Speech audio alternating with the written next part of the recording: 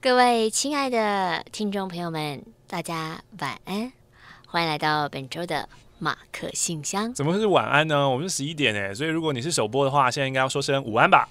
我服务全球的朋友哦不行吗？可以，可以，我们。是一个 international 的节目，International 尤其在几年后放上 podcast，他可能在晚上收听，是听到这一声晚安，是不是觉得格外的亲切呢？哦 你最近就要走那种我爱你，就是你之前你还记得你讲我爱你吗？那一集效益好吗？好好像说没有哎、哦，你说以点击率来说啊，不我过说下面好像没有很多人有惊讶的感觉有有有几个说哦，我要重复听，重复听，然后剪下来，哦就。是玛丽对我说我爱你。我恨你。人们总是说仇视的力量是比较大的，让我们看看是真还是假。今天第一封信来自于阿姆，是一个自由接案的设计师，跟先生结婚四年，小孩一岁半的妈妈。最近呢，因为找不到托育幼幼班，所以我跟先生常常有言语的冲突。一直到今天早上，先生对我说：“你为什么讲话带刺啊？你以前不是这样哎、嗯我一时语塞，脑中的思绪翻腾，很混乱，但我整理出了两个方向。我真的觉得自己很糟糕、很失败，因为我不能兼顾育儿跟工作，就乱发脾气。这种乱发脾气的感觉，很像我已经过世的母亲。我明明以前那么讨厌她，就是非常情绪化的感觉，但现在的我又跟我的母亲如此相似。二，我觉得愤怒又很无力，因为一连串的生产、育儿这些磨难之后，为什么先生你能期待你的妻子像未婚时期那样的天真快乐呢？坐月子的时候，你坚持要出差两周，在我会阴重逢手术后，会阴哦哦，你给我开了一个无聊的玩笑。嗯在跟公婆讨论争执育儿方法时，你又沉默。嗯年轻的我当然已经渐渐退去了。抱歉，我无法再对你那已经说了两百次的周星驰笑话发笑。嗯然后我就变成你口中那种你以前不是那样的妻子啊。不好意思，你那个完美娇妻的梦想，我只想说 fuck off。嗯，你那天真可爱的小女友，早在每个单独起床自己泡奶的半夜死去了。嗯，干。其余剩下无法理解的情绪，我变成了眼泪。我呆坐在原地，无声的流泪。嗯我觉得好孤单哦，我觉得快乐离我好遥远哦。马克·玛丽，你可以教我怎么把快乐年轻的自己找回来呢？谢谢，附上一百元。谢谢你们听我的故事。我关于妈那个妈妈育儿之后失去了自己，我真的无法给出你说你说建议吗？嗯。为什么？因为我没有育儿过啊，哦我无法理解，就是我都只能看很多妈妈的文字，嗯就是我之前也有分享过嘛，就是我那个登山的朋友，然后我们分享之后，还有人跟他说，哎、你有被念到马克信箱，啊他来跟我讲，嗯就是他也是在经历一连串，就是你一直意识到少女的自己在离开你，可是你不，其实你不想，嗯。可是你没有办法，哦对，然后你同你当然同时也很爱你的小孩，嗯。你有时候也很想掐死他，可是你只能扛着他继续往前走，嗯。然后再。也许他他现在，因为他之前很爱，我不是说他很爱登山，嗯。很爱运动、潜水，然后他他生完小孩之后觉得哦，就是家庭无力，然后身材无力，然后有时候面对小孩你也不知道该怎么办。可他现在已经慢慢就是，他现在很强，他扛着他的小孩在爬山哎、嗯他扛那个后面好像是那个古时候砍柴，你知道那个那那种大的一个东西，然后再背那些，那不是什么我们骑，我们不是我们那种小山哦，看起来就是很崎岖的山路。嗯嗯我觉得他还是很努力的在找那个平衡点啦。可是我不知道他的先生在当中 carry 他哦有没有 carry 多少，因为我觉得先生 carry 很重要。像我其他的呃一些也是生小孩的妈妈，我觉得有个很大的重点就是他们真的有明确的分配出时间。嗯。真的有几天，嗯。我就是让妈妈去哦放风，对，嗯真的，有几天就是怎么样，嗯我不知道你的先生会不会让你有这样的自己的时间嗯生活。嗯嗯嗯，如果重新找回自己，对啊，有自己的时间生活，我真的觉得会比较快乐一点啦。就是你也比较有充裕的时间去找你的好朋友，好好的抱怨乐色。嗯。只能说辛苦你了，给你拍拍。教主马克、教母玛丽，你们好，我是台中的贝尔。七月十一号有念到我的信，那底下有留言，有几个鼓励，几个安慰，我很感动，也都有截图下来。我难过没有动力的时候就拿出来看看。那我拖延病发作了哦，其实有很多想讲的，可是我就一直拖，一直拖。这一次我想要讲我国中的分班制度。我现在三十岁，我念的国小一年级有三班，六年级有段考，我几乎次次都第一。升国中的升学考试呢，他就考得不错。升国中为什么要升学考试啊？你升国中有考试吗？他会不会是要考特殊的班级？美术班、数理自优班、什么班、什么班、音乐班？他说那时候考国文、数学、自然、社会，全校男生第一名就是一年一班一号，女生第一名就是一年。他们采取那个。S 状分班是不是？哦，十八班二十一号，然后接着下来这个座号是有差别的哦，就是呢，老师会以座号来划分达标的标准。如果呢你是本来就比较前段班的学生，你如果小考达标没有到九十分或九十五分，差一分打一下。还有人在打哦！天哪！我就好像恭喜的好啊！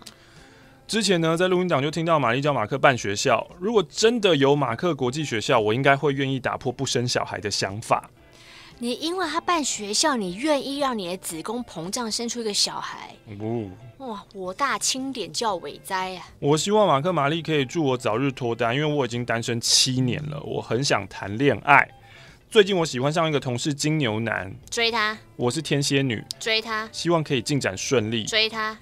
来自极度想要脱单的台中贝尔，我今天看到一个好可爱的新闻哦，就是因为自从那个两只手机新闻事件爆发之后，现在很多艺人都会被访问说，那你有几只手机？然后呃，就是那个 那个那个人叫什么紫红吗？紫红跟四叶草，反正就他们有传那个绯闻，我也不知道他们有没有正面回应他们在一起。他就会问他说。那你有没有看？你们就你们有没有看过彼此的手机？嗯嗯他他说他有一次看四叶草的手机，看到的是如何攻陷天平男的心。然后他是天平男，对，然后他就觉得很可爱，他就默默把它放下了。啊，这种新闻真的很浪漫哎。所以你现在每一次就要搜寻如何攻陷双鱼男呃双鱼女的心。你喜欢双鱼男？你刚刚不小心，我们我们我们买我们我们不是说好这个不要讲吗？你在做什么效果？然后卡提亚才会更生气，说双鱼，我明明是母羊，然后放错重点了，是男生跟女生吧？所以我觉得小确幸分享给大家。这封信来自于 Taco，哇，也是一个又是育儿方面的，对妈妈，因为他他的 baby 就是现在。有自己的床嘛？可是现在看到爸爸妈妈睡大床，就会只说我也要跟你们睡，就是我要睡大床，我要睡大床。嗯，所以他有跟小孩定个原则，就是如果你你要睡大的可以，可是如果你这样一一直要爬来爬去要爬下去的话，你就要回去睡你自己的小床。嗯，那当然有一次他一度爬下去之后，他就把他抱回他的小床嘛，结果小朋友大哭了快三十分钟，哭到累了才睡着。过程当中，妈妈就会怀疑说。我这样坚持是对的吗？小孩哭成这样子，我要坚持吗？可是理智，你又觉得说，今天我说出来的话，我自己不认真做的话，那小朋友就觉得说，啊，你讲的是假的啊，反正妈妈都是讲讲吓吓唬我而已，该怎么办？然后小孩大哭的时候，先生也一度想说，我爸走进来插手，可是他们又有约好说，我们要有一致的黑脸白脸，对，然后育儿方法。当然，事后老公也忍不住问说：“哎，你这样做真的能让小朋友记住吗？”我就说：“其实我们就夫妻俩一起决定好言行之后，说到做到，小朋友怎么可能记不住呢？”其利断金。他最后觉得育儿真的是一门大学问，每天都有好多的课题哦。没错。瓜瓦来信，今天要分享一个很疗愈的粉丝专业，然后这个法文我不会念嘛，等一下他会把这个字母拼出来，大家有兴趣的话可以去找一下。中文的意思呢是哥布兰泰迪熊，那哥布兰呢是法国巴黎十三区的一个街区，从去年十月起呢，就有很多很多泰迪熊出现在这个街区的各处，洗衣店啊、咖啡厅啊、图书馆啊，到处都可以看到熊熊。那不就是东区大肠王吗？诶。起因是因为有一位低调的书店老板，将也曾经在台湾红极一时的 Costco 超级巨大泰迪熊放在哥布兰的街上，大概有五十只。那希望呢可以让附近的居民更有凝聚力。那他们就帮这个熊熊办 Facebook 粉丝专业啊、IG 账号啊，将他们的日常放在网络上跟大家分享，然后帮熊熊设定情境，譬如说熊熊翘高屁股，把头塞进洗衣机，说：“有人看到我的手机吗？”熊熊坐在餐桌前说：“今晚的晚餐有蜂蜜。”或是熊熊坐在录音室里面说：“今天来上广播节目。为什么一直讲熊熊，我就想到真的那个熊熊？”因为玛丽一直很希望熊熊可以来马克信箱念信。然后我就说：“你真的想的话，熊熊把塞到洗衣机屁股翘高，说有看到我的手机吗？”对啊，如果是那个熊熊，真的是差很多的熊熊。你就你就邀请嘛，就邀邀邀看啊。好。对啊。嗯，熊熊。但很有可能。对于他们来说，他们的确都是想要钱了。我现在可以理解你那种，就是哦，我们没有钱给人家的那一种。而且加上，因为他不知道马克信箱，对，如果他知道，还有机会这样子。嗯嗯嗯。Facebook 跟 IG 的名称呢，都是 L E S 空格 N O U N O U R S 空格 D E S 空格 G O B E L I N E S。如果未来我能去巴黎旅行，我一定要去十三区找熊熊玩。按照惯例呢，斗内十元给马克玛丽，熊熊脑粉刮吧。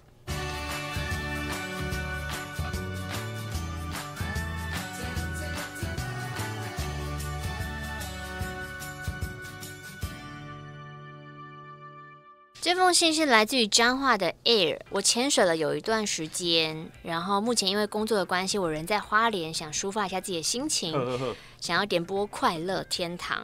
还记得九月底米塔台风来临之前，我跟一帮毕业五年还是常常联络的大学同学一起去南投、台中三日游，想说哎刺激一下国内观光。然后我们行程很松啊，台北到南投，想去哪就去哪，去日月潭吃阿婆茶叶蛋，在民宿烤肉喝酒，然后听同学抱怨科技业的工作，然后吐槽我们彼此都是单身狗。总之大家在台北都没有开过车，看了地图我们不知道哈。台北市高架桥的出口在中间，怎么那么奇怪？然后下来的时候就随便帮我翻一个捷运站，坐捷运去北车，然后火车发车前三十秒到月台，叽哩叽哩，勉强坐上要回花莲的火车上。嗯，隔天早上呢，宣布放台风假，幸好我还没出门，就回去睡一下。但睡没多久，line 就响了，妈妈说阿公去世了，你赶快回家。但是没想到回家这段路很难走，因为当天就是已经在放台风假了嘛，所以就是哦，赶快赶到花莲火车站，还好还没停驶。可是大厅满满都是趁台风来临前要回台北的旅客，我又没有票，只好坐区间车到罗东再做打算。然后呢，在罗东的区间车上，你还可以看外面海岸的浪有多强。结果到罗东，格马兰客运停驶了，根本就没有到台北车站的票，只好先坐首都客运到新店，再转捷运到台北车站。又没想到新竹以北火车停驶了，只好坐高铁到台中，又转了区间车到彰化，再从彰化坐公车到家附近，然后弟弟骑机车来载我。天哪，这跟维腾回家路一样遥远。到家时，贝贝。爸爸、三个叔叔、阿木妈妈、三个婶婶，就是很多人都已经换好校服了，在灵堂前听道士念经。我爬到了阿公的灵前，却完全没有想哭，就觉得我好累又好忙，根本来不及细想。妈妈说，阿公那天早上坐在他固定的椅子上，吃了一点东西，抽了一根烟，又在看他最喜欢的民事新闻。等妈妈发现，哎。阿公没有呼吸嘞，已经回天乏术了。当然是叫救护车啦，可是救护员就说这个已经回天乏术了。阿公走的很潇洒，哎，他吃饭了，抽烟了，看他爱看的新闻，至少不是一动也不动躺在床上那种拖很多年的那一种。我在 PPT 看大家失去亲人的文章，有的人真的一开始都没有想哭的感觉，因为太突然了，反应不过来。可是真的有可能在平时开口，你随口问了一些不在的人问题，或是你发现回家，哎。没有人了，你确实意识到那些人真的不在的时候，才会大哭。我觉得人生呢一定会死，只是早晚的问题。不管你是英年早逝还是歹戏拖棚，我觉得我的阿公生命超精彩，他躲过了美军轰炸、二二八事件，闪过了白色恐怖，还享了二三十年儿孙满堂的天伦之乐。霹雳大家都说啊，你过一阵子才会哭。可是我打这封信的时候，已经边打边流泪了。嗯，这是我第一次失去至亲。我人生的头二十五年都是跟阿公住在一起了，而现在他真的过去了，我再也见不到他。我想要点播《快乐天堂》，因为我的阿公去了快乐天堂。提供两百元救救穷 DJ。今天呢，我们在回的是二零一九年九月份的信啊。这一封明信片来自于 Ray。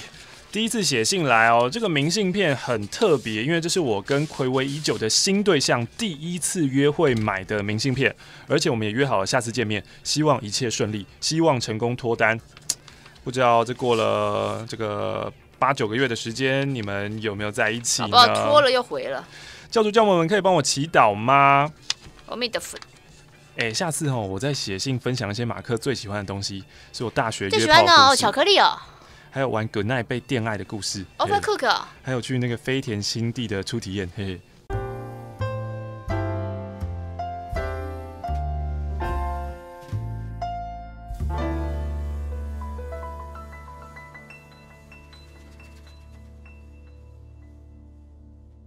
这边还有封明信片呢，来自于幸福太太。幸福太太跟幸福先生交往三周年的纪念日，他们是在二零一六年九月二十三号交往的。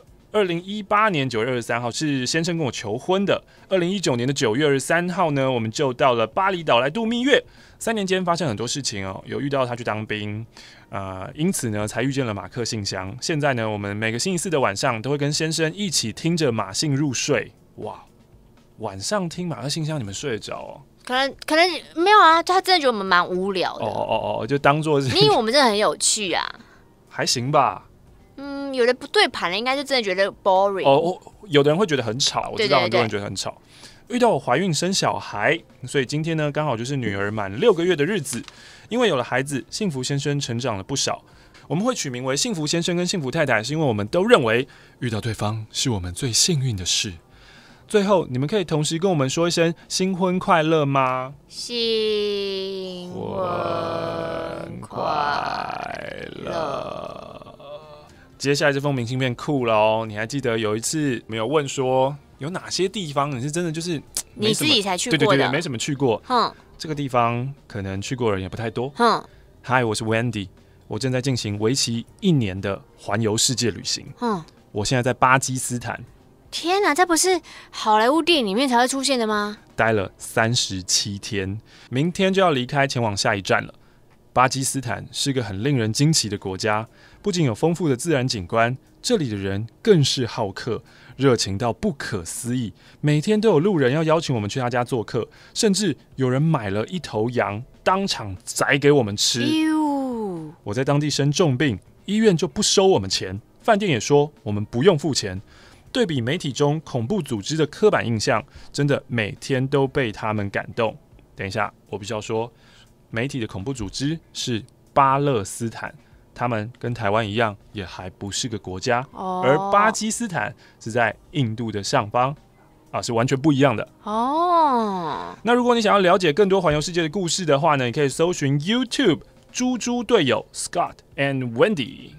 你刚刚在回这封信，加上这一次，你总共就是捏了四次鼻子，戳了四次手指，那些是不是都是有毛在你的手上？没，哎、鼻毛哪那么容易掉下来？没有啊，我的鼻子是很痒哎、你要喷酒精吗？不行，可以对着人喷吗？不行吧？空中杀空中杀菌。不要不要不要不要！亲爱的马克玛丽，我是在法国学音乐的一，去年因为在 YouTube 发现你们了，谢谢你们的陪伴。谢谢你找到我们，我们需要海外游子。这是他去年九月的信。二零二零年的二月是我第三次考试，也会是最后一次，因为这间学校规定每个人一生只能考三次。前两次都是因为一些主观、客观、合理不合理的因素败北。我希望下一次是开心的事情。高中毕业那一年，凭着一股出生之犊的勇气出国，我觉得别人可以，为什么不行？嗯嗯我也是前三志愿毕业的，嗯有什么难得倒我？，OK，我没有语言的问题哦，好啊我发检都有 B two 了，我怕什么？厉害哦。我也的确考上了市立音乐院。那法国学制有点复杂，因为这个还不算大学。可是当我想要往上考，同时有大学跟硕士的高等音乐院时，踢到了好大的铁板。两次入学考的失利，信心锐气慢慢被削弱了。评审无情的说：“你要不要转行？哦我觉得你没有天分哎、哇哦，我直接说没天分。OK，我开始对自己产生怀疑。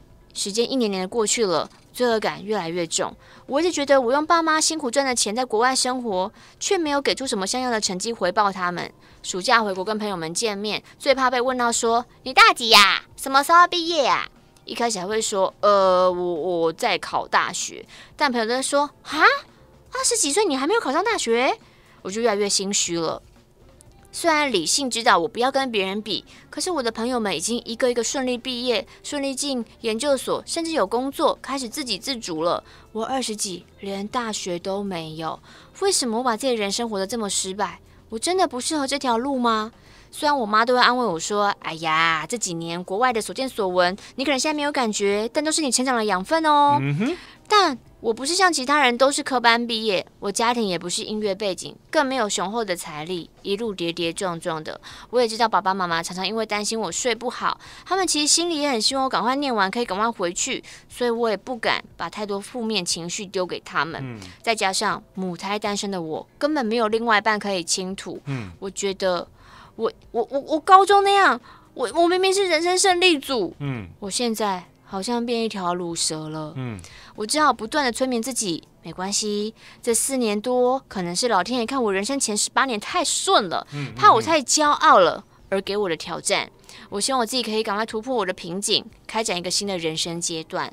谢谢你们念完我的信，当我的树洞。我觉得欧元太普通了，就附上之前跟朋友去波兰的波兰币哦五块钱在哪里？是被我摇已经摇不见了啊！哦，因为这个洞被我剪太大了。希望马克信箱的会员越来越多。希望马克你可以对我说一声。You're awesome。还有一个很难的，扩大门啊！我们来查一下这个怎么念。我是一或者泪水跟酒精在法国的阳台，真的是蛮辛苦的，四五年。尤其之前你如果一直都很顺利的话，嗯你应该是从来没想过，怎么会有人说我你就对你没天分？那真的是一个重话。嗯但我你妈妈说的也是对的啦，这四五年你现在可能没有什么感觉，但一定都是人生的过程，要一切都是过程。感觉是法文，不会念。喂，好，Dear 马克玛丽，我是月亮虾饼，想说一个当小四的故事。月亮虾饼你会沾酱吗？一定。今天我看到了前男友的婚纱照，有些感触想跟大家分享。我跟前男友是在交友软体 Scout 认识的，我跟他有共同兴趣，很快热络起来。他自称单身半年，我不疑有他。某天我跟朋友相约，刚好他 Line 说：“哦，我在附近，诶，可以见个面啊，顺便载你回家啊。”第一次见面的气氛、话题都不错，我开始对他有好感，没想到是荒唐的开始。和他见了三到四次面，加上每天暧昧的讯息跟电话，我们互相喜欢对方。某天他送我回家，在车上跟我讨抱抱，接着亲亲、摸胸、摸妹妹。好一阵子空窗的我心想，终于要脱单啦！我就问他：“你有什么想对我说的吗？”嗯，他就说：“呃，我我我我很紧张，呃，回家再说。”我觉得可能只是他太紧张，没想太多。后来回家后，我就很开心的等他讯息，以为嗯哼要告白了吧。他就用 Line 说：“呃，可以打字聊一下吗？我有另一半了。”哈，原本以为我可以干脆的结束关系哦，但是他说他很喜欢我，他不能跟另外一半分开。太多，你总这样说。于是，在他的积极要求加上脑袋不清的情况下，我就成了小三。平常当他当他平日的女友，他六日呢就会去隔壁的县市陪他的女友。大约过了两三个礼拜，诶，他的女友要离岛过年假喽，我就跟他有出游的机会。我们愉快的去了宜兰，直到当晚啊，我们去夜市前，我们在排停车，突然他说：“呃呃呃，我去打个电话，你帮我停车。”呃，直到我停好，他还是持续讲，讲了二十分钟。我在旁边等了，没有听到内容。讲完后呢，他没有跟我多说，直到了逛完夜市，他才说：“我我我我被我女友用手机定位抓到啊！嗯啊啊啊！我女友吼就要求说她要跟你讲话啦。我我正宫来喽！我不断拒绝，他一直央求我，呃我我就答应了。你们干嘛啊？为什么为什么为什么要面对别人正宫啊？为什么？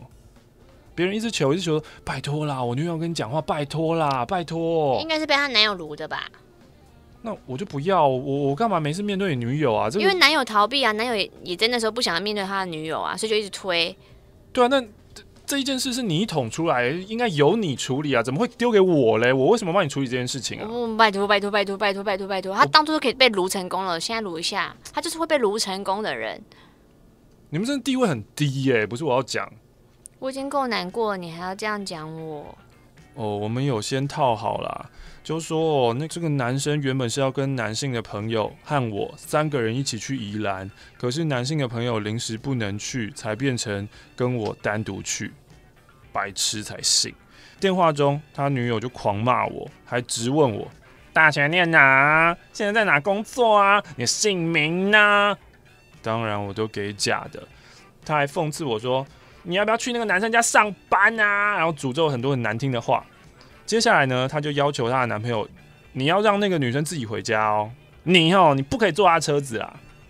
啊，我男友就答应他女友，哇，这句话听起来好荒谬。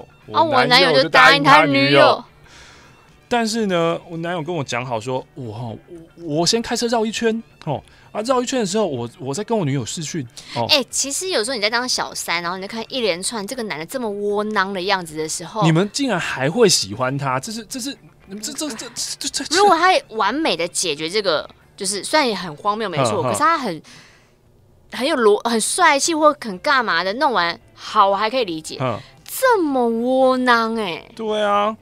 于是呢，我就坐在 Seven 一直等，一直等，一直等。回程中呢，哎、那个女的又有打来 FaceTime 哦，好险这一次没有要求看副驾驶。一路上我就听他们吵架闹分手，那女的还问他说：“她漂亮吗？” 我男友就说还好。烂爆！那个女的还说：“那我更普通喽。”而在这一天之后呢，他们的关系越来越差，女友就整天追踪定位，使我的男友渐渐受不了，终于有起了要跟她分手的念头。但这个女的又慌了，开始挽回。这当中哦，我男友不断承诺会跟女友分手，一定会。他也向我抱怨许多那个女生的缺点，比如说会打呼啊、不用跟我们讲这些啦。拜金啊、控制狂啊，然后还说哦见最后一面哦，就最后一面就分开哦。我跟我男友关系越来越浓，每天都很甜蜜，我沉浸在他的甜言蜜语。他还跟我爸妈吃饭，而我们同居，以为终于可以完整的拥有他，不用跟别人分享，可以两人世界了。没想到他又跟我说，他还是放不下，他没办法分手。我们又回到三角关系，可是又不断的说他的最爱是我，他跟那个女的是习惯，搞得我精神快要崩溃了。我跟他讲好，再一个月我让你做决定，选我或是他。他还说：“哎、呃，这个这个、呃难道没有双赢的方法吗？”瞎哎、什么叫双赢的方法？我两个都要。哦，那个赢不是淫荡的赢，你说三 P，对啊，双赢。我怎么会喜欢上这种烂咖啊？哦，终于终于听到这边，终于哦，好累哦。哎、不是哦，他不是因为这句话而而醒来的，嗯，是因为偶然发现，除了我跟他的女友之外，他还有另外一个女生，简称 J，已经维持了半年有性的关系。真正的时间管理大师吧？荒唐的情节实在太多，原来我是小四啊！啊，他时间安排的真好，可以一天见三个女生，上班玩交友软体。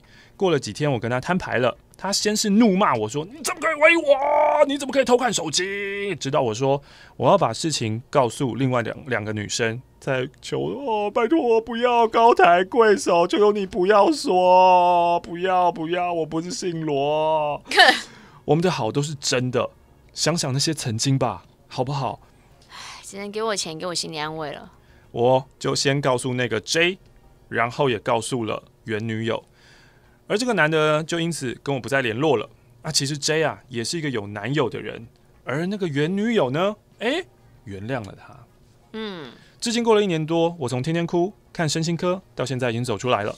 摊牌后呢，诶，他们两个原始的男女朋友，女生呢就接受了男生的道歉，但是这个男生持续的在玩交友软体，持续的约炮。我也庆幸我自己离开这一切，直到今天偶然看到他们的婚纱，我又想起了那些我人生中最痛苦的事。时间真的是最好的解药，没有走不出的伤，只有要不要走出来而已。以前是正义魔人的我，从来没有想过自己会当小三或是小四。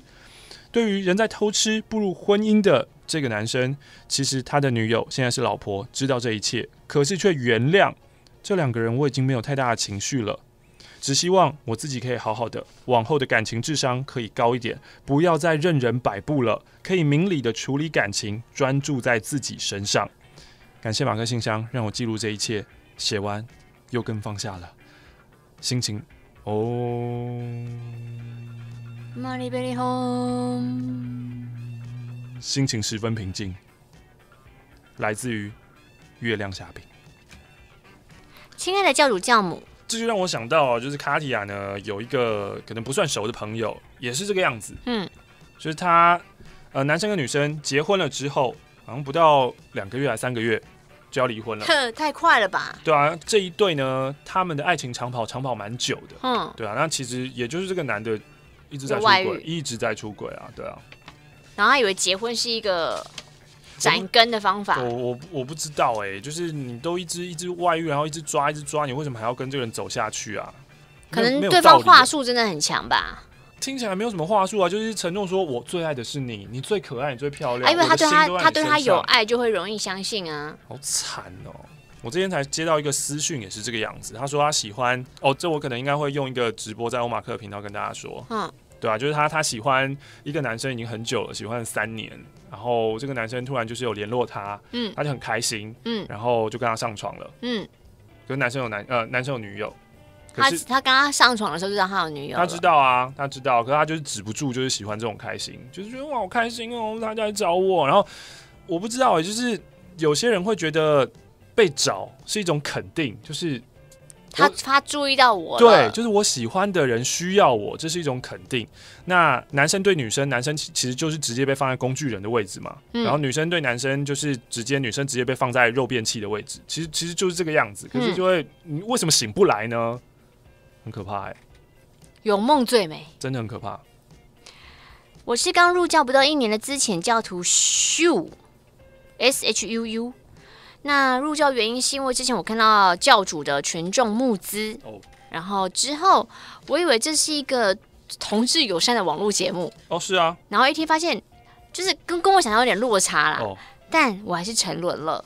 必须要说，马克信箱就像是群众募资的售后服务，呃，我们是同志友善的节目啊，他可能会专门觉得好像做哦，专门做给同志听的，哦，对对对，没有没有没有。去年六月左右，为了跟身边的朋友谈论反同公投的问题，我正式公开了自己是男同志的身份。当然，当时是冲动热血，可是就像第一块骨牌一样，效应来了，是。带出了我不能负荷的事情，铺天盖地的反同言论，家人的疑虑，还有公投结束后浮上台面那七百多万票的恶意。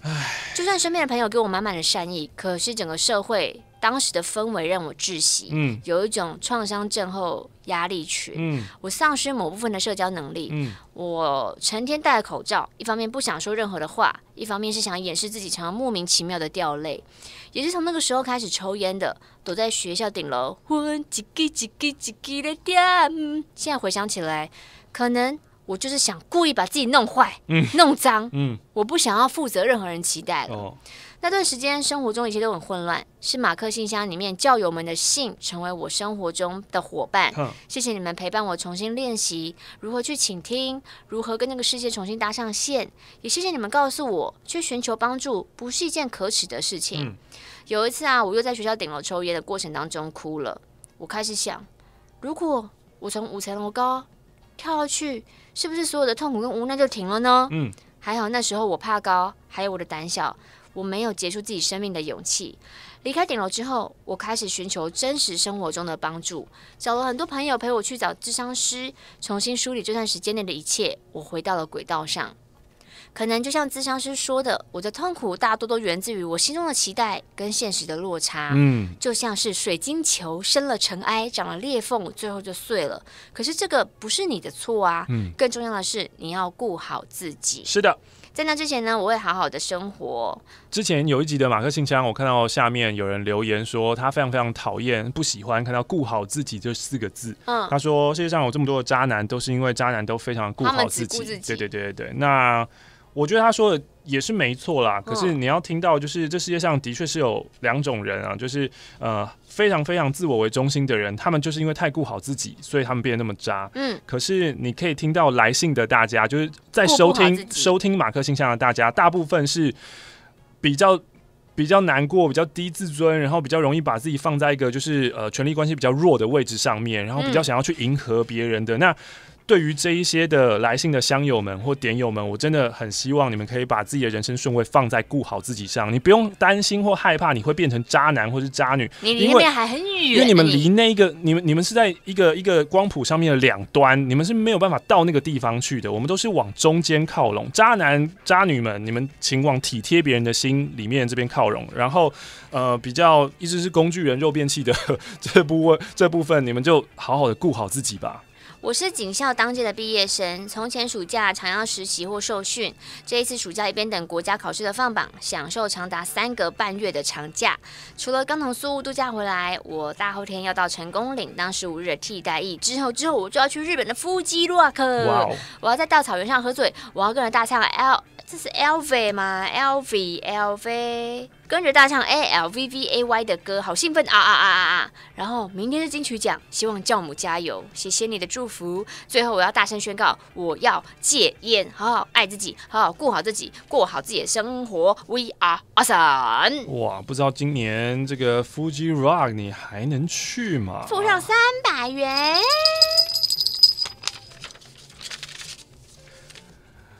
刚刚我说到一个啊，喜欢三年的男生，这个更久。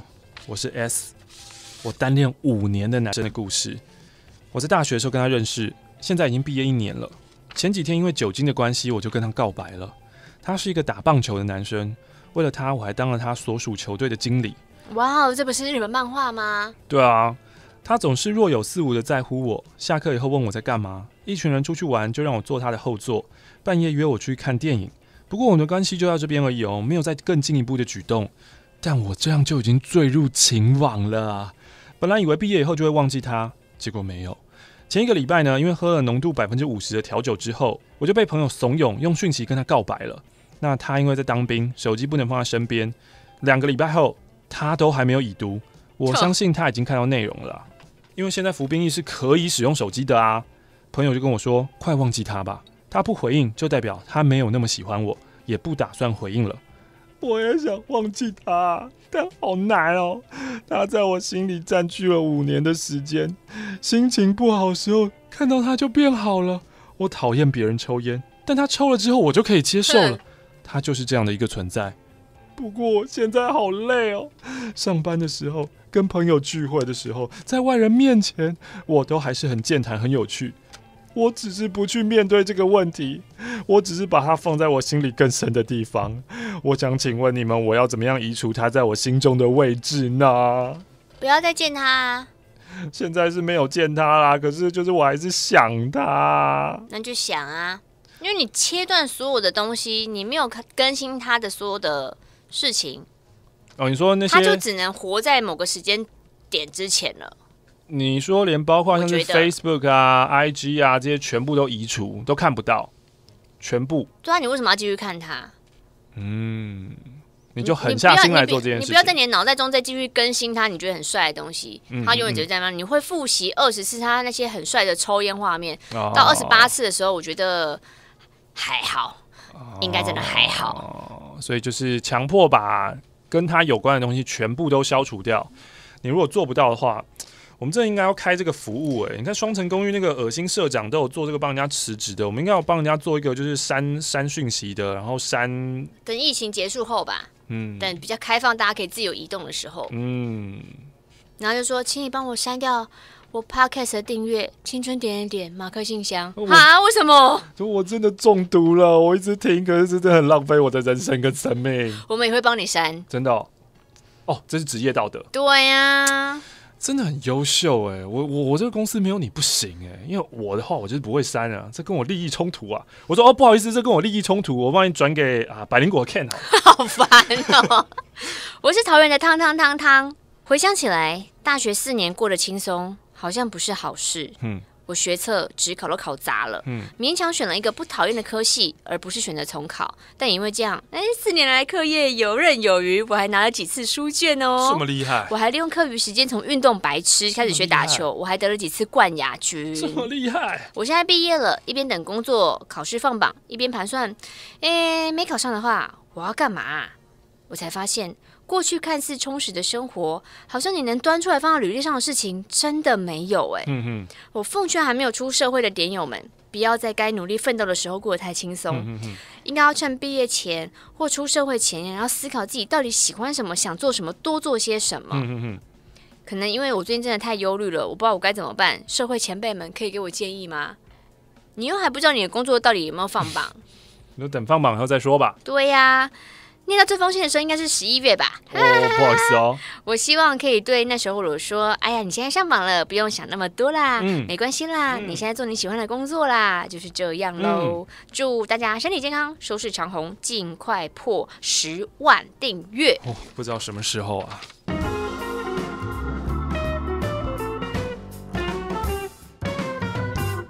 哎，这个来自于中和的 L，她是个女生，要请你四名啊。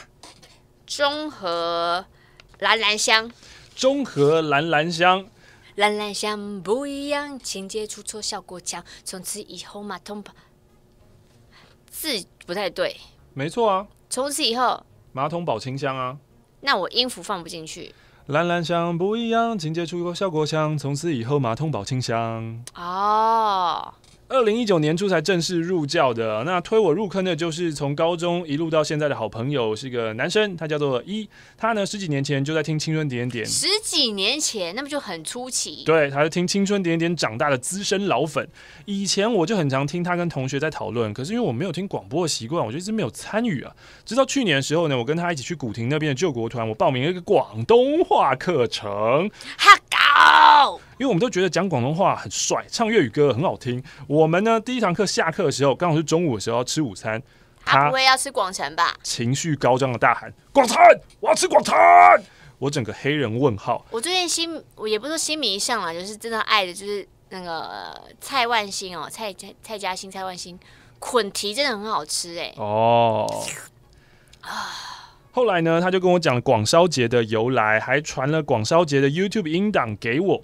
通常哦，别人传给我影片超过五分钟，我是不可能看完的啦。但是那个广烧节音档十几分钟，又没有画面啊，只有声音，我却从头到尾听完了哦。我整个笑疯，我觉得这女主持人、男主持人两位太有趣、太闹、太有梗了吧。心境飘。之后他不时就会传一些马克信箱，他觉得很好笑的故事跟我分享。我听着听着，我就变忠实粉丝喽。每个星期四我都会准时收听哦。还会传赖问他说：“哎，这礼拜你听了没？很慢呢。” 哎，中和兰香最近有一个好像很有名的烧腊，从永康街搬到了中和哦。天哪，从市中心搬到郊区的原因是什么？I don't know，我真的不知道。而且那个地方没有捷运站。嗯，他会这么认真的追马克信箱呢？是因为我的工作实在是很闲啊，很无聊啊。每周更新的马克信箱就是我的能量来源。这一次要提笔写信，就是因为我要离职啦。这个很闲的工作是传统旅行社的门市客服哇。你好，欢迎光临。今天要找什么资讯吗？我看一下，你离职离离离在几月几号啊？你没有写哦，二零一九年九月。我的天呐，离得好。现在的你应该觉得你是这个先知吧？太强了吧？因为我们门市地点没有很便利啊。店面不太起眼，实际会走进来的人一天就只有哦一两个。啊，办公室的资深同事都已经有自己经营多年的客户在忙，新进人员的工作真的就是无聊。帮你查一下机票哦，目前这个价位大概在这边，你看一下。你连讲这个机会都没有，因为主管也不太管你，只会说哦有遇到问题再问吧。啊，但优点优点，我可以尽情的做自己的事，只要坐在位置上，而我每天哦就是逛 Facebook、IG 啊，听音乐、听广播。啊，买网拍啊，乱买一堆东西，哎，然后现在写信给你们。每次跟家人朋友提到说，哦，上班好无聊哦，不想做了，都会被回说，哎，这种钱多事少、离家近的工作，你还在挑什么啦？最后呢，他要谢谢推我入教的好友，就这个男生啊，他的工作是一个超爆肝的设计业，很多时间呢都是在教主教母的声音陪伴他的，他都会听以前的录音档，觉得设计的工作好辛苦哦，工作时间也好长，牺牲了很多生活的时间。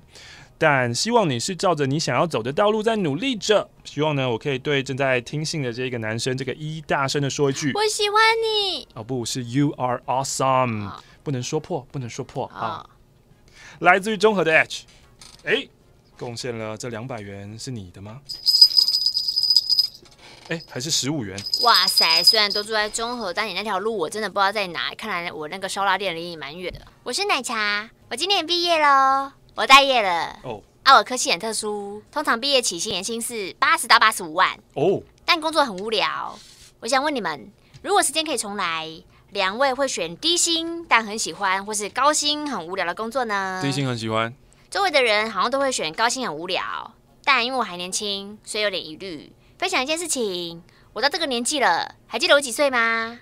我今年毕业喽。哦哦，二十二。我连男生的手都没有摸过。嗯。呃，我会不会三十岁的时候还没有看过我喜欢的男生裸体呀？虽然现在社会约用约炮很容易，但我想看一下我喜欢的人的男人的裸体。是喜欢的重点。我想要看我喜欢的。喜欢的。今天写到这边了。目前我是无业游民，奶茶。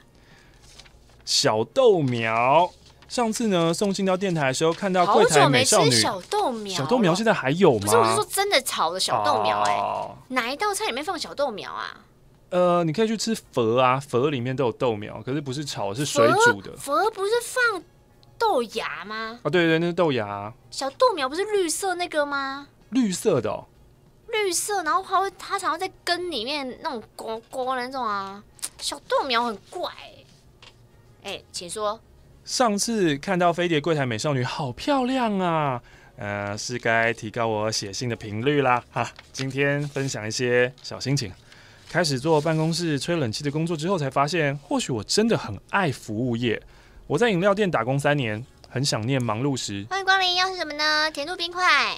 同事们这种展现默契，可以一次解决一批又一批的客人，忙到撑不住的时候，休假大家也都不计酬劳，自愿主动帮忙。我真的是很欣赏这种服务业。我最近不知道为什么，就是真的是蛮鸡婆的那种情绪。我只要看到那一种就是服务业，但是你没有把自己的动线规划好、安排好，或是那种话术你很不会应对进退的话，都会让我觉得很生气。你都没有好好善待你的职业，没有不对，对不起你的职业。你你明明就知道。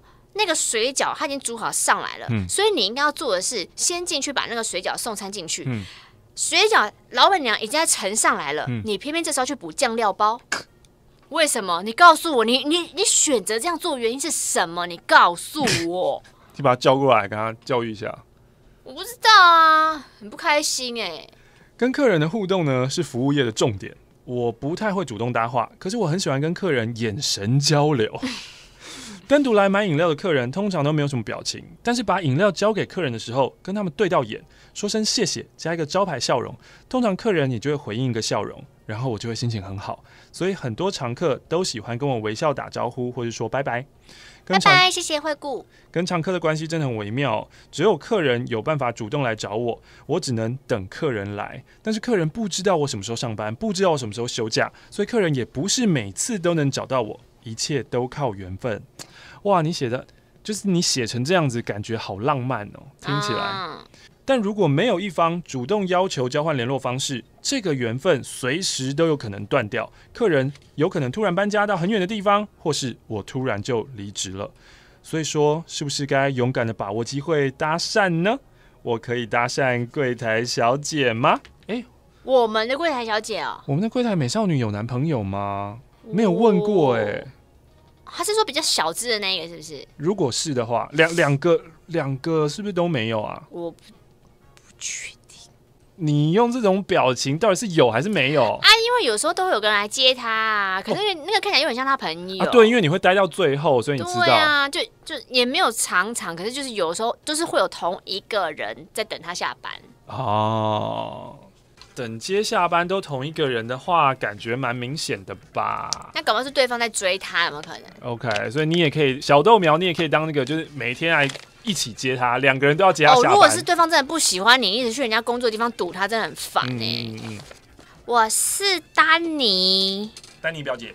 我想分享我朋友的故事。她跟她男友交往两年半，他们分手的原因是因为哦，我一一道来啦。他们是一对同志情侣，啊，这个圈子荒淫的一面，各位听完《同志三温暖》应该知道吧？如今开放的世代哦，他们交往两年半，却连一次周公之礼都没有做。什么是周公之礼？周公之礼，睡觉。这源头是什么？我想知道。Hey Siri，嘿马克 Siri，周公之礼是什么？嘿马克，嘿马克 Siri，周公之礼。周公之礼。夫妻同房在古代被叫做周公之礼，这么委婉的说法是从何而来的呢？传说在西周初年，世风日下，民间婚俗，民间婚俗混乱不堪。当时辅佐天子执政的周公对此大为反感，周公就从婚礼入手，把结婚分为了七个环节：纳采、问名、纳吉、纳征、请期、轻盈、敦伦七个环节。最后敦伦大家应该有印象吧？敦伦就是行房啦。此时周公还规定，男女在结婚之前不能随便发生关系哦，要等双方正式举行了公开婚礼，成为了合法夫妻才能洞房。所以后来就把夫妻同房叫为周公之礼了。哇哦，他们一次周公之礼都没有做，因为他们都没有办法适应刚交的不适感，所以交往的期间都只用口、手满足彼此。他们坚信性爱是必须以两人舒服为出发点的，所以我们都不要勉强对方。好啊。除此之外呢，他们生活单纯，也不会去什么 gay bar 啊、三温暖啊、夜店啊。这也是我朋友一直引以为傲的地方，因为他觉得这个圈子比较乱。我可以找到我男友是何等的珍贵。所以交往期间，他一直小心呵护，用心照顾这段感情。但两周年后变了，怎样？风云变色。她男友跟之前高中毕业就没有联络的圈内同学再度联络上，被影响了，开始去 gay bar 玩，然后和系上一个堪称跟全系的 gay 都有交流，其中还有发展成固炮的那种 SS 级的危险学长，越走越近。有一次他们出去喝酒，她男友醉到不省人事，还是我朋友去捷运站把她男友接回来的。当下看着学长搂着她男友，她男友整个倒在学长身上，我朋友真的愣住了。是，从那天起，她已经不知道怎么面对她的男友，更不用提她男友开始上健身房、下载交友软体，变成一个她根本不认识的人。他们曾经讨论过彼此最爱对方哪一点。嗯，她男友是喜欢她从不要求自己、强迫自己，嗯，能做自己最真实的样子。嗯，所以我的朋友也不愿意采取强硬的手段，只柔性的劝导。嗯，只换回男友跟她说：“啊啊啊，就要好好把握大学生活啊，尽情玩乐啊，而且换个生活方式不是挺新鲜的吗？毕业后工作你还能这样玩吗？”几次谈判未果，我朋友走投无路情况下，只好消极的等她男友毕业。嗯，想说，嗯，毕业了，远离这些牛鬼蛇神，会回到原样吧？不会啦，这个去过就回不来了。呃，要回来可能要等，就是你真的想要定下来之后。她承受了男友的巨变，课业、打工、家庭各方的压力，又不敢、不愿意跟身边任何朋友倾诉，想说好。我投入游戏当中好了啊！不要了，在游戏里结识一位网友。随着打游戏的时间越来越多，我朋友那些是这种游戏哦，是对对对，是真的游戏。我朋友那些在现实生活中说不出口的烦恼，都跟网友说了。每一个男友不在夜晚，都是网友陪他度过的。嗯嗯，他就越来越依赖他，甚至会南下高雄去找他。这不就是？你率先变心吗？最后引爆是在圣诞节。我朋友很喜欢过圣诞节，因为她跟男友都是天主教的学校，圣诞节会停课哦。所以真的哎，好明显哦。她二十四号下课后会从淡水到新庄找她男友。新庄啊，一起一起吃平安夜晚餐之后，隔天会一起去新北耶诞城庆祝。二十四号那一天，我朋友在她男友家。胡乱编了一个理由，下楼打给那位网友，提前想祝网友圣诞快乐。小聊了一下，才又上楼。可是二十五号当天起床，却发现男友坐在床沿，泪眼汪汪的看着他。哎呦！哽咽的问他说：“你打给谁？为什么你不爱我？对，不跟我说？对，为什么你不满都不告诉我？”原来她男友会一直偷看她手机，整件事情东窗事发，最后分手。你是不是？喂。这打错了，不好意思。雨涵是谁？为什么打这个电话找雨涵？你真的不知道吗？不知道啊。雨涵是谁？不知道啊，他要约配音员，打错电话了。当然，最后是分手收场了。以一个喜欢圣诞节的人来说，竟然在圣诞节当天结束两年半的感情，超级讽刺。嗯，其实我朋友也没有跟那个网友交往，因为他知道他其实不爱网友，只是谢谢那段时间的陪伴。这个故事很很很难过，不是很奇妙啊？你原本就是担心对方不喜欢对方的改变，但其实真正先跨出那一错的那一步是你，哎。可是我没有喜欢他啊。就是他能听我讲话啊，但我心里知道我不喜欢他。啊但是对你的另外一半来说，这这就是一个……那上健身房啊，那些跟那些 S S 级的那些那些那些同志都一直玩在一起。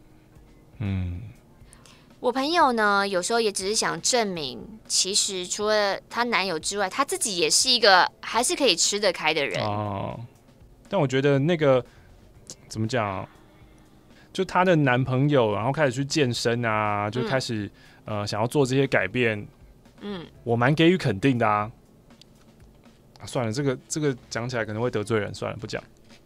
当然之后呢，他们也有藕断丝连，毕竟两年半的感情不是说断就就断，但就是觉得还是不要回到过去那样子提心吊胆的时候吧。结果呢？之后她男友结交了新欢，而且已经长达半年之久。我朋友还没细算，奇怪，半年交往，你之前暧昧，那你怎么还要跟我求复合？那个时候巴拉巴拉，反正就是抽丝剥茧啦。嗯，做贼的喊抓贼啊！我朋友现在呢，当然之后有努力打起精神过日子，遇见了几个不错的对象。可是每到一定的程度，就脑中有个声音出现了：不要。别浪费时间吧！不行，你多用心，多努力，最后还不是会结束呢？我必须要说，容易被忘记的你，你没有很用心啊！你说对于他那一段感情嘛？对啊，我那好不用心。他说他最爱我的地方是我不管他，不不勉强他改变，我多努力做到了，我不用心吗？这不算用心，用心是要好好维护跟经营你们的感情，哎，就好好沟通啊。不能就是放任啊，就是说，呃，我就放给他烂，这这不叫用心吧？所以，我朋友对于那一些后来认识的人，也都感到很抱歉，因为人家应该觉得说，啊，你一开始不是好好的。我朋友对他那些人感到很抱歉，可是又控制不了自己的思绪。其实他也很讨厌这样的自己，他不知道自己到底该怎么办才好。嗯，希望马克玛丽可以给他一些建议跟看法。嗯，最后我想要承认，我就是我朋友。因为我想说，用第三人称写这些事情，会不会让我好受一点呢？因为之后这是他去年九月写的嘛，要去当兵了，可能无法准时收听马克信箱。如果有一天念了我的信，标题可不可以用我来做标题？拜托，我不要漏听。我在军中想要第一时间知道我该怎么办，救救当兵的人。有没有该大便的？没有大便。我想讲一件事情哦，就是呃，你会提出这样的要求，本身呢就是一个很值得探讨的，就是什么要求？拜托用我的信当标题，因为我不想错过。嗯，这其实就是一种情绪勒索啊。所以其实他是一个有满腔的情绪想要发泄出来的人，可是他不停的压抑自己。嗯，可是人家不是告诉我们不要当个情绪勒索的人吗？对啊。那我觉得这是一个树洞什么的，我觉得好像只有面对你，我能坦然面对我心中的那个渴望，我老实讲出来了。你们是我唯一愿意讲出来的，却又得到这样的回应，说我在情绪勒索。没有，你可以讲出来，但其实基本上一个真正好好顾好自己的情绪的人，不是把你的情绪丢给其他人，是把你的情绪在自己这一关你就已经。处理掉，你根本不会麻烦到任何人啊！啊，我知道怎么处理，我我真的不知道怎样才可以不用错过啊！每星期一晚上九点半，马克读书会。对，就是你会找很多这种借口嘛？当兵不是借口，就真的政府要我进去啊！没有，就是包括像你的男朋友，他想要健身，他想要变得更好这一件事情，就是你也觉得说啊，他不能这样，他不想，就是你在为你自己不想前进、不想改变找了很多很多的借口。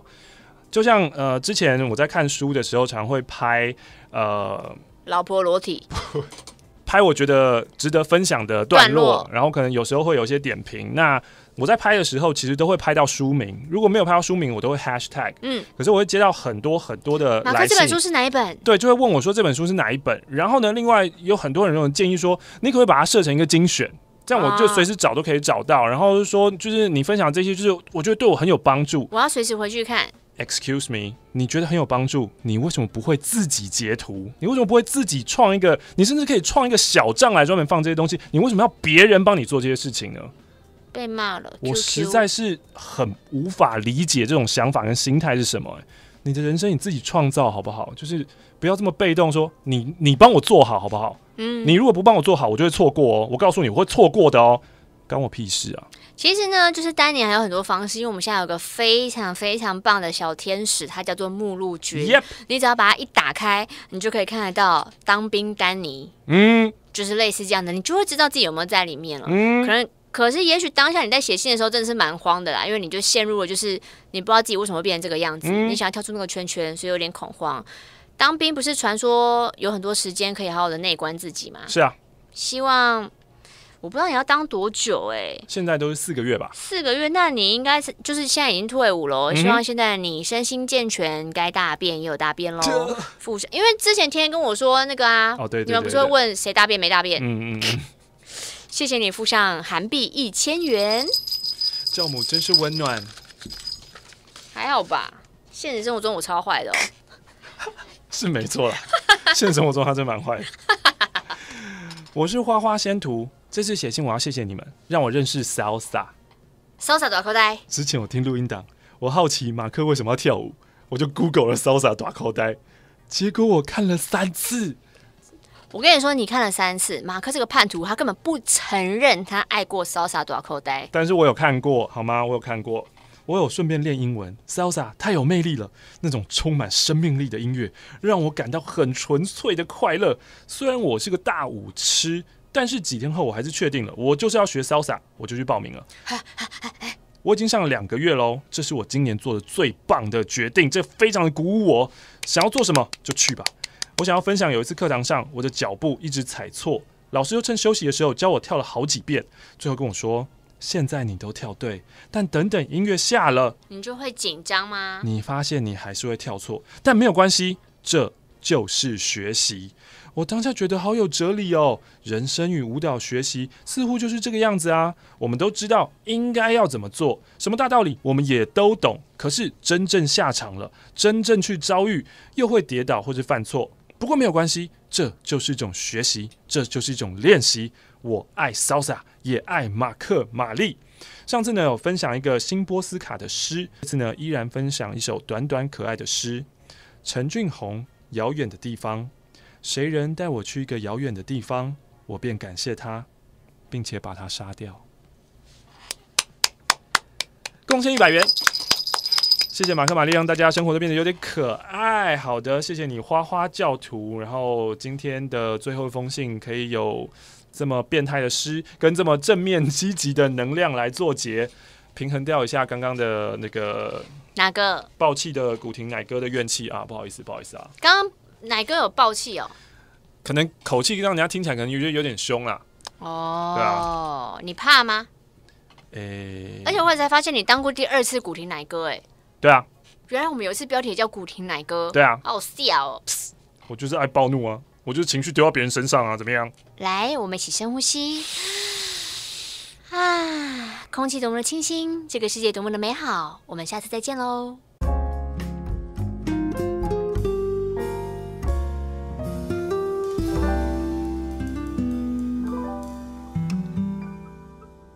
本周的马姓救世主 Leo Wang。